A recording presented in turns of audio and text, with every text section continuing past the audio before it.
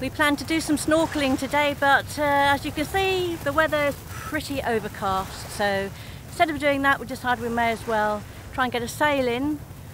That's not working out too well either because there's no wind.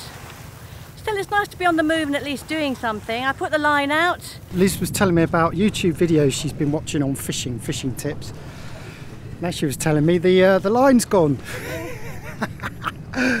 uh, we'll uh, talk more to Liz about her techniques, which obviously work because we got another fish. Yeah, hopefully it's a fish and not a bag. it got off. That hasn't happened for a long time. There was a massive pull, bang, down. I thought it may have taken the lure, but the lure's there, so I'm going to put it out again.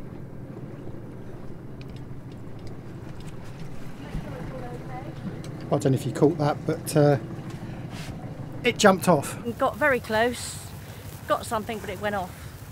That hasn't happened in a long time. I haven't lost anything for a very long time. Not quite sure why that happened, uh, but I kept the lure, so that was good news.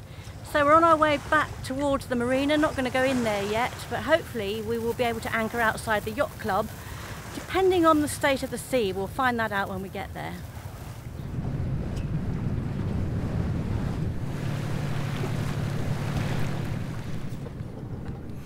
Nice little anchorage this, but uh, we're leaving. We've just spent one night here. We went over to the yacht club for lunch, which was very pleasant. It's funny because there's actually an airport right there, but uh, very few airplanes fly. I mean, what, two a day, I think, so it doesn't disturb us at all. I just went for a lovely long walk all the way along this beach and what's encouraging is, is that uh, I always thought Kota Kinabalu was a bit disappointing on the beachfront because so much of it is reclaimed land but actually when you come around this corner and you see this beach it's magnificent. It's uh, what about two miles long I suppose? Maybe a mile. Uh, but it's beautiful. It's it's a nice spot so hopefully we'll come back here. Um, but we're going to anchor now outside the marina because tomorrow I'm going diving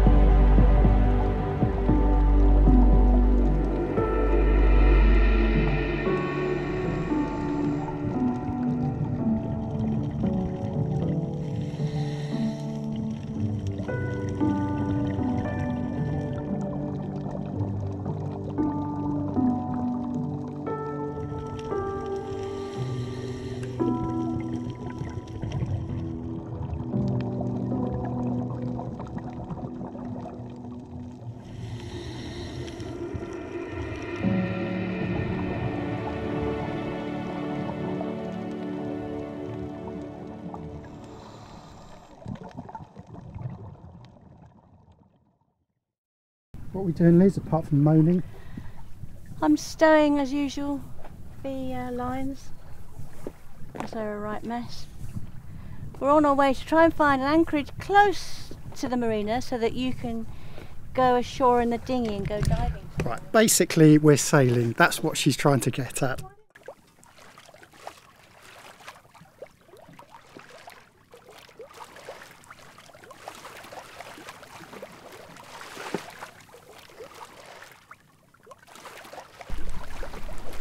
We're only doing two knots, a little bit over two knots. But the silence and the, just the trickling sound of the water. Oh, I could stay out here for hours, you know. It's the early evening in Borneo. And we're just hanging around here until we find a nice anchorage. Well, we found the anchorage. It's a place, a spot that we're happy with to leave the boat tomorrow. I have got the line out and I have seen some really big fish in the marina but uh, find out if they're any around here. I've only got about 20 minutes.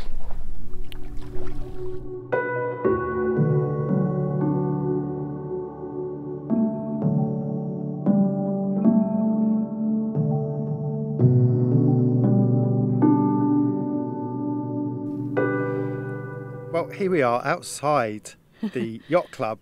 But here's the weird thing: that clip you just saw was actually recorded what two, three Two months months ago, I think, something yeah, like that. something like that. And yet here we are in real time. So this bit here is being recorded in August, and we just so happen to be outside the yacht club, so it does fit in quite nicely. It's like Groundhog Day all Yes. over again. Yes. Yeah, here we are again. Yeah, Liz will tell you about that in a minute. I just wanted to say actually, sorry, we didn't show you any footage of that beach, which we should have done really. But the problem was at that point we just bought our Fitbits, and I think we were so obsessed with measuring our zone minutes and how many paces and making sure we did 10,000 steps. we forgot to take some footage. We forgot to do any photography for ages Yeah. because all we cared about was fitness. And look, you can tell because look how fit we look. Yes. wah.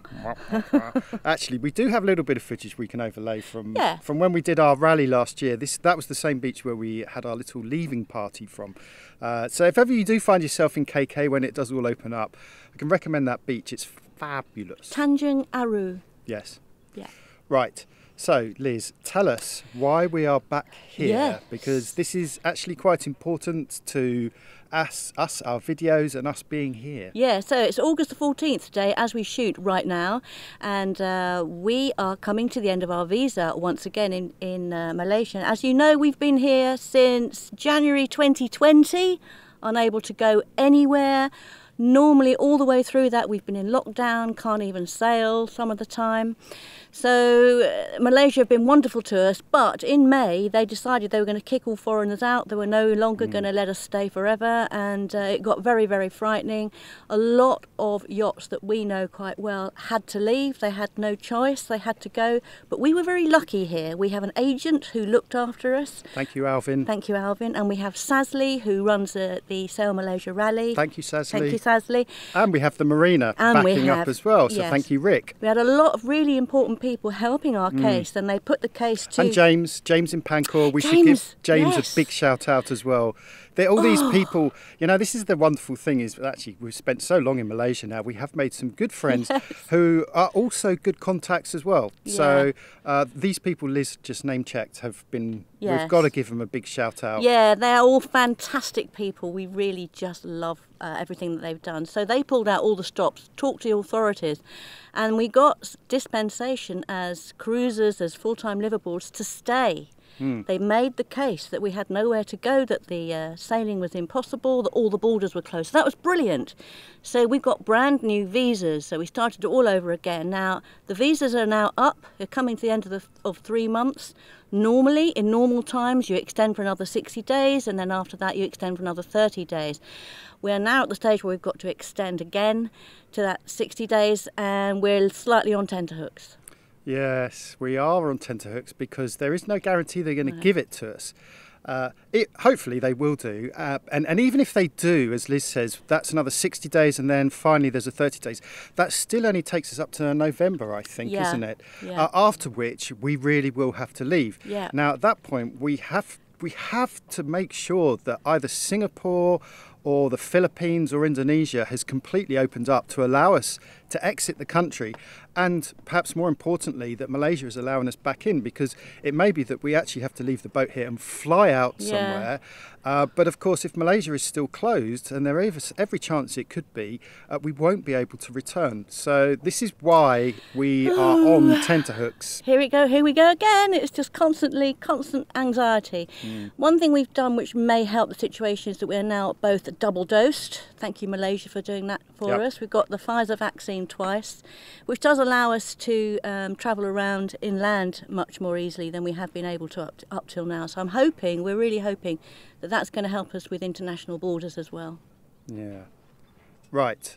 Back to the last little clip of this week's episode. Uh, now, hopefully, you caught Liz's fabulous fishing episode she uh, released a couple of weeks ago, which was really well received. Uh, but in it, you mentioned your birthday present you bought yeah, yourself. my new rod. Yes. Your new rod and your new reel. Yes. And uh, you had said in that video that you were going to show in a following episode how to rig it up. So, Yeah. if anyone buys a rod and reel and they don't know how to rig it up properly, this last little extract will help explain, demystify putting your rig together. So I've gone and done it. I've bought myself a new reel and rod. It's a Shimano Talica 16 reel, and the rod is a, a Penn Senator. They should do the job. They should do the job to catch the kind of fish that we're fishing for here. A nice lightweight uh, reel and uh, a good strong rod. So here it is, this is my new reel. After, I don't know, five or six years using my pen, I just, I've decided to branch out and get another reel so that I can have one on either side of the boat rather than a troll. And I've gone for the Talica 16. Uh, it's kind of not much choice in this shot, but it is a pretty good reel. Big enough for the kind of fish I want to get. I've now got to put it all together and that's quite interesting. I've been reading up on it and I've been watching videos and there's one really good one by Ultimate Fishing which uh, takes you through the whole process of putting it together. So I'm going to pretty much follow his advice. First off, you put some electrical tape on the bottom of the reel because there's a possibility there might be a problem with uh, different metals meeting from the reel to the rod and, and that and a little bit of lanolin just helps the potential corrosion that might happen in the future. And I'm pretty much going to follow his suggestions right now. So got the electrical tape on the reel, on the backing, we've got the grease on the rod. So now we just insert and do up, but not completely tight because you just want to check to make sure that it is absolutely straight against the rollers and once you're completely happy with that, tighten it right up. So I unwrapped the, the rod, there was still a lot of plastic and bits and bobs uh, all, all stuck around the handle. And underneath three layers of different things, I found a sticker which said, slick butt. Slick butt slides easily in and out of rod holders for fast action. Is that just angler's humour or is that the manufacturer's humour? But thanks so much, I've now got a slick butt. The Talica reels come with uh, reel clamps, which is great, so it gives you that extra bit of confidence that it's not going to fall off. And I've put mine on um, as per the instructions on the video where he suggests that you, again, you grease everything to try to avoid as much corrosion as possible and even put a little bit of that uh, amalgamating tape between the, uh, the clamp itself and the rod. So I've done all that, clamped it all together, clamped it down nicely, and it's well bedded in there I think. To spool the braid onto the reel you have to create a bit of tension so that it's nice and tight and you either have to have a willing person to sit there and do it with you or one of these really flash professional spooling jobbies or you can do what I do if you're on a yacht you've got loads and loads of rigging rig it rather like you would a sewing machine, putting it round and round lots of things. That just gives it a reasonable amount of tension and then use your finger as you're rolling on to also give it some tension and then gradually keep rolling, keep putting it on.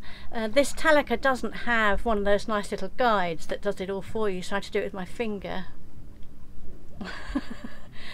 and I've, I've put all the braid that I had left on and now I'm going to fill the rest of the reel up with a monofilament.